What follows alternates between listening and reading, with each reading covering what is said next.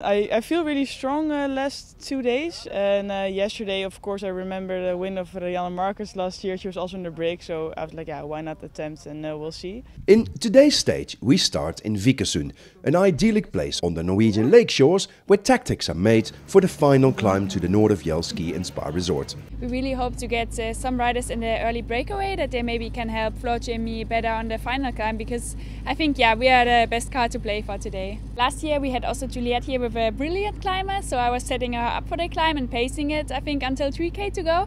So today I have to do it a bit different and save more energy, and then I hope maybe on the steep part, if there's a tech going, or I can do it myself, and maybe we can play the game even with numbers if Floortje and I feel well. As soon as we cross kilometer zero, it's Esme Peperkamp who goes into an early break. Behind her, Jumbo-Visma women's team is bringing Amber Kraak over the climbs for points and it's Jackson sprinting for points as well. Then Sarah Roy is going on an adventure, stays out for a kilometer or 10 before reels back in. Now Sophie Wright is taking a shot and attacks.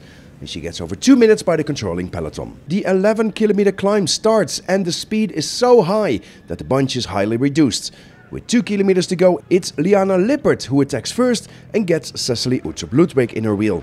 Anouska Koster and Neve Bradbury try to hold on, but the speed of the German rider is really high and they cannot follow. And the rest of the bunch is dropped. No one can follow the two riders up front, and it's clear one of these two riders will fight for today's victory and the yellow jersey of the general classification. With one kilometer to go, the poker starts. Who can wait the longest and who will attack first? Cecilie Uttrup Ludwig places her attack. Lippert can only follow, so Uttrup Ludwig wins stage 5 of the Tour of Scandinavia. When the ramp started to get quite steep with 3k to go, then uh, then the attacking started happening, and uh, yeah, that was uh, fun. It's gonna be full on tomorrow, and I'll bet you that some of the other girls they wanna attack, so oh, it's gonna be super hard. But we're ready for the fight. Cecilie Uttrup Ludwig wins the Queen stage of the Tour of Scandinavia, followed by Liane Lippert.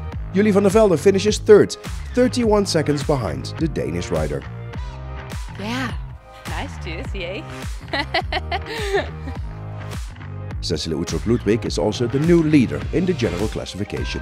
Liane Lippert did an amazing job and jumps to second, 17 seconds behind the yellow jersey. Alexandra Manly now needs 44 seconds to win. Tomorrow is the sixth and final stage.